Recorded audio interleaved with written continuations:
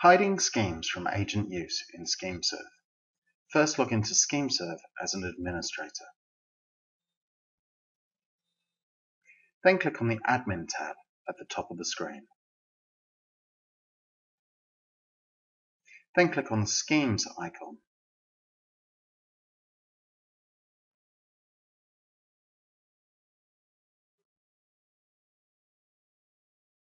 Find and click on the scheme you wish to hide.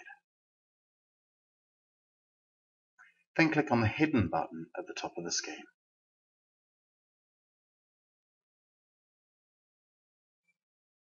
Finally, click on the Save Changes button to hide the scheme.